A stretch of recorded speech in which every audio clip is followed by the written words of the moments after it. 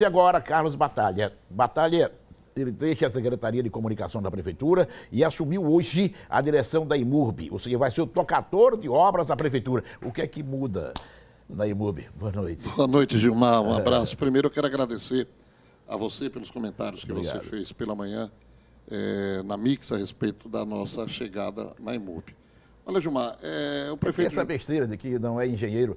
Mamede Pai Mendonça construiu um império sem um analfabeto é, funcional. funcional. Não, é, é, não é? é, é Zé Serra nunca foi médico e foi o Isso. melhor ministro da saúde na minha avaliação não, nos últimos tempos. Não, e eu me lembro um detalhe, eu acho que foi isso que fez com que o prefeito me convidasse para uhum. a URB, que ele deve ter se lembrado do período em que nós passamos na Secretaria de Estado de Esportes, é onde, para muito orgulho nosso, até hoje comentam muito a nossa passagem lá.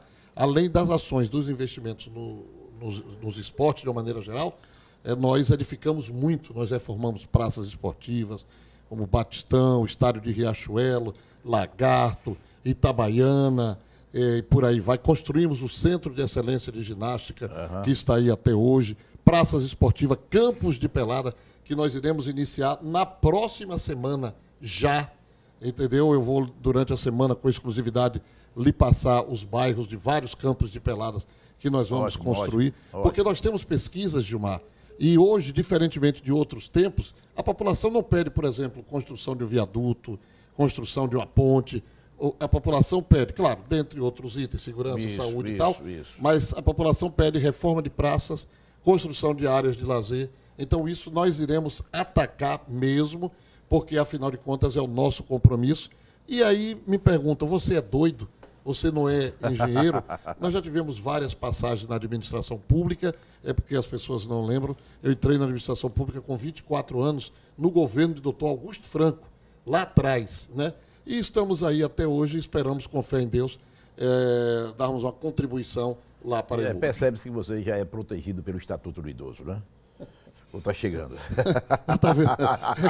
Aí, Gilmar, é muita brincadeira. Você sabe que a perspectiva de vida na década de 40 do brasileiro era de 45 anos. Exatamente. Hoje é, de 75. É. Então ainda tem muito, com muito tempo Deus, pela frente. Deus. Me diga uma coisa, 6h51 agora.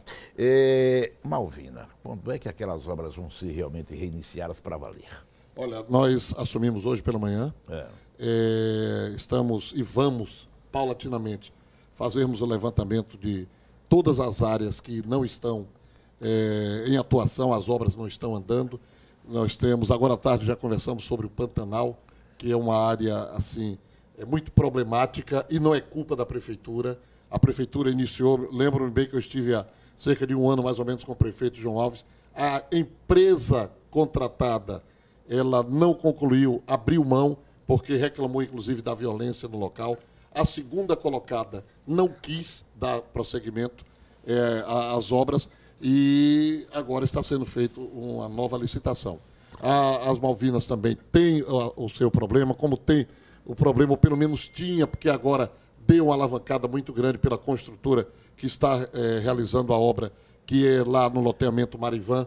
É, nós vamos fazer uma visita e começarmos com ações imediatas. Já temos vários, várias no bairro 17 de março, que recebeu há poucos dias a, a escola lá José Calumbi, modelo de escola, vai receber nos próximos dias o Centro é, de, de Cultura e de Esportes, mas nós temos problemas é, com a malha viária do 17 de março, vamos atacar. Um vereador hoje pela manhã é, me fez a solicitação, já marcamos terça-feira, 8 horas da manhã, uma visita com toda a equipe técnica no Santa Maria, no Alexandre Alcino, para Isso, que possamos pedir. atacar Aquela também avenida Alexandre Alcino. Alexandre Alcino. Cheio de buracos. Pois é, uma coisa problemática que nós vamos tentar resolver. Uhum. Nós temos a confiança do prefeito, temos um trabalho com a equipe técnica, a equipe econômica. Hoje pela manhã, Gilmar, nós tivemos uma reunião com funcionários, os funcionários da ponta, aquele que vai lá quebrar o asfalto, que vai lá tapar o esgoto, é, na, na, na EMUB, com algumas reclamações também de terceirizadas, e na medida do possível, eh, nós esperamos conseguir, eh, com o trabalho também ao lado da, da Socorro Cacho, que realizou e realiza, irá continuar eh, realizando um grande trabalho. Agora, é que os dedos das mãos não são iguais, quanto mais as pessoas, né? Dizem que eu tenho um perfil assim mais, é. mais atirado, mais arrojado. E aí eu vou tentar dar a minha contribuição, como dei. A comunicação, é, ela continua, o prefeito pediu que nós ficássemos como porta-voz da comunicação nas, nas entrevistas, nas intermediações com vocês, Sim, de emissoras sim, de rádio, sim. de televisão. A, a, a Clécia está tocando lá, vai continuar tocando também é, como secretária e nós vamos, é, com fé em Deus. Mas você é, está multiplicar lascado o nosso comigo, trabalho. viu? E é? É, viu? Por Tá porque eu sei que você é rompedor, é trabalhador, eu conheço. Aí agora é que eu vou na imóvel.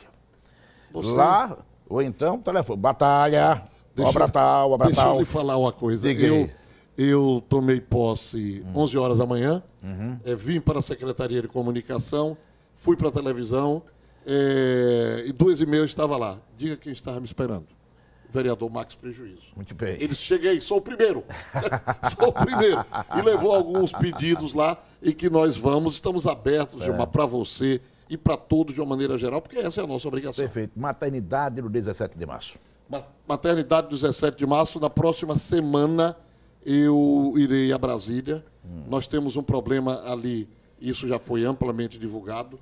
Ela, a obra foi paralisada porque recursos do governo federal, que só repassou 10% da obra, do valor, o empreiteiro só fez 10%. Não, eu- faria a mesma coisa. É? E eu também Entendo. faria a mesma coisa. É. E aí, aí vamos tentar é, ouvir lá em Brasília Sim, sim, é, uma perseguição de gente de Sergipe, político Ah. de Sergipe, que trabalhava no Ministério da Saúde, hoje não trabalha mais depois da saída de Dilma e a entrada de Temer.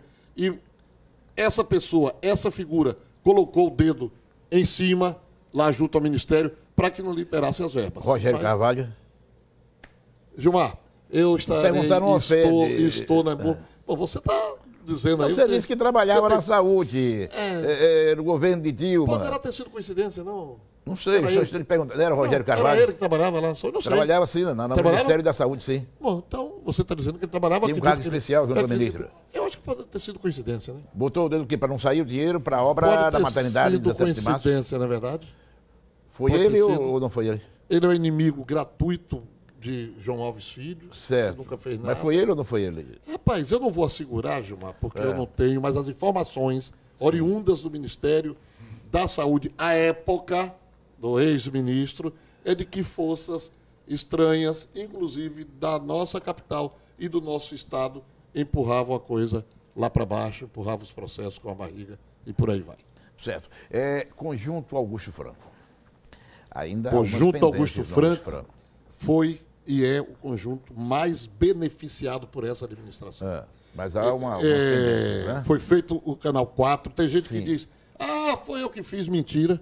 Apenas 10%. Pergunta Marcos Prejuízo. Sim. Apenas 10% da obra havia sido feita quando João Alves chegou. Fez a Canal 4, fez a Canal 5, fez o mercado. Tem gente que diz assim, foi eu que fiz mentira. O mercado seria apenas um galpão, não teria a estrutura de hoje. Concluiu a Paulo VI e fez o mergulhão, que tudo ali dá acesso ao canal, ao conjunto Augusto Franco, e falta Canal 3.